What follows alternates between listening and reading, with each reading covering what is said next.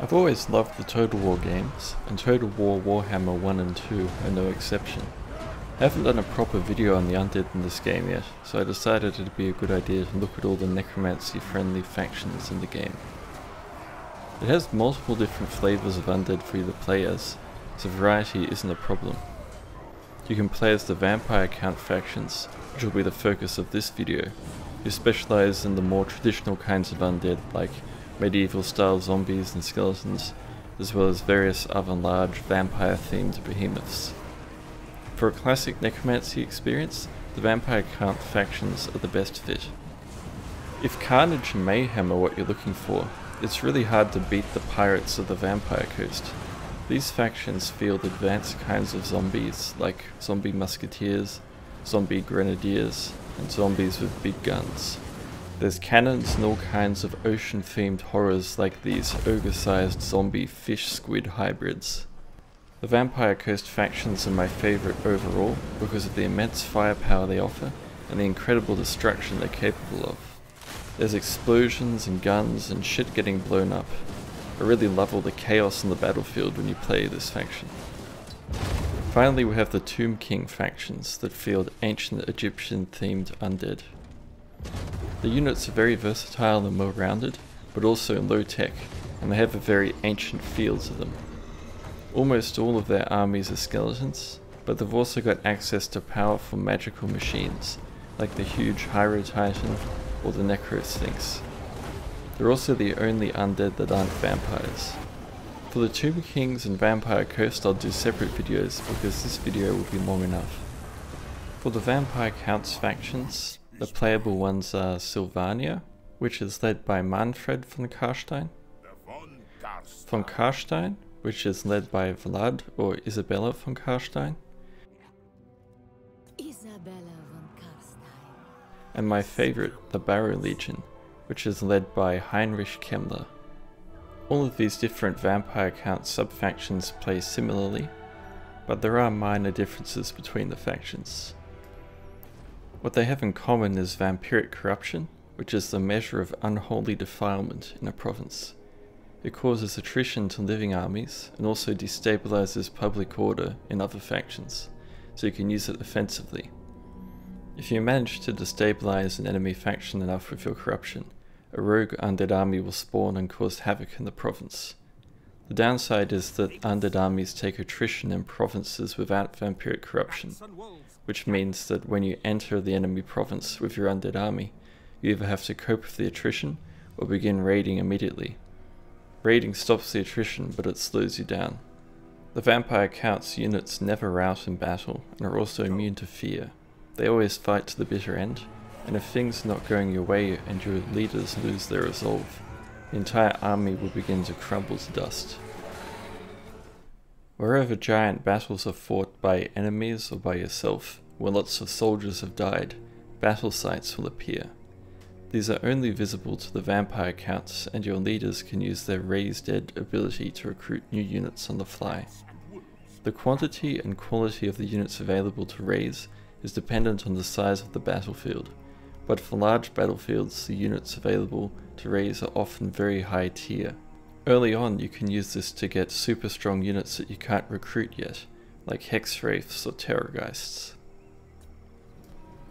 A peculiarity of the vampire counts is that they have no ranged units, with the exception of having limited living crossbowmen and musketeers if you unlock them with the von Karstein bloodline.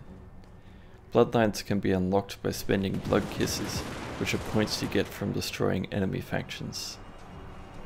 For the necromancy lovers, the Barrow Legion is probably the best choice. and It's also the only one I've tried, so I'll limit further discussion to the Barrow Legion alone. It's a necromancer focused faction rather than a vampire focused one, although vampires are also available as heroes. Necromancer leaders and heroes are cheaper for the Barrow Legion. The story behind Heinrich Kemmler is basically that he was a powerful necromancer who was defeated by his rivals and he somehow became a deranged and powerless beggar. He lived a long time as an insane, gutter-dwelling hobo until he came across a shrine to the Chaos Gods or something and vowed to destroy the world and everyone in it if only they would restore him to his former glory. They agreed, because the Chaos Gods want to see the world burn. And then Heinrich Kemmler rose again. The coolest thing about Heinrich Kemmler is that he can summon a powerful undead foot knight called Krell during battles. Early on, Krell is basically a one-man army, and late game he's still extremely useful. The armies of the Barrow Legion are led by Heinrich Kemmler's master necromancers, who look like insane homeless men given necromancy robes and necrotic powers. They wear clothes made from human remains, and their spells are mostly support spells like buffing and healing. They can also summon temporary zombies in battles. The majority of your army leaders will be these insane necromancer hobos, but unique vampire lords can be unlocked via bloodlines and used as army leaders as well. I actually preferred the master necromancers though, because their upkeep was less and they could also recruit undead units more cheaply. The vampires are good though for different kinds of direct damage spells that the necromancers cannot do. They're also better in melee combat, and as an extra bonus, they're also pretty hot. If you get sick of looking at your hobo-like master necromancers, you can always recover by looking at some nice vampires. For heroes you've got wights, vampires, necromancers and banshees. In Total War games, heroes are like special agents. They can be embedded into armies to fight, or run around on the campaign map helping at home or causing mayhem abroad. Necromancers are like master necromancers, except they cannot lead armies. They're good for supplementing your armies with additional spells and for boosting income back home. Vampires are good at spreading vampiric corruption, as well as doing direct damage spells and debuffing spells on enemies in combat. I especially love this spell, which demoralizes the enemy and sounds like a haunting screech. Wights fight like foot knights if embedded into an army, otherwise they help out around at home by raising public order Banshees work like assassins on the campaign map, killing other heroes outright, which is very costly to the enemy. They can also damage walls, which helps with sieges. In combat they're very difficult to hurt, and they're good at disengaging from enemies and slipping around the map.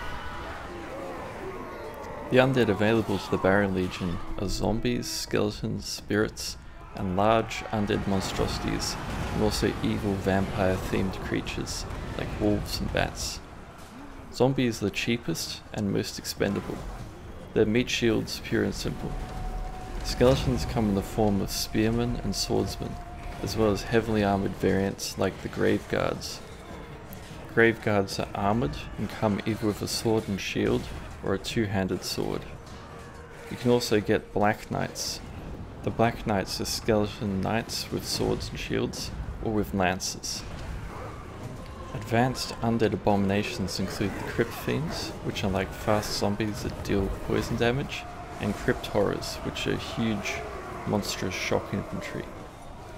For vampire themed units, you've got the Bats and Wolves, which are good for harassment and picking off fleeing enemies, as well as Vargheists, which are large, flying, monstrous bat things, and the Varghulf, which is a huge bat thing that cannot fly and is insanely strong.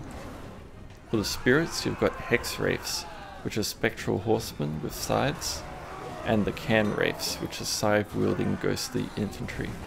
There's also the Black Coach, which is like a ghostly horse and carriage with a Grim Reaper riding in it, and it behaves a bit like a chariot.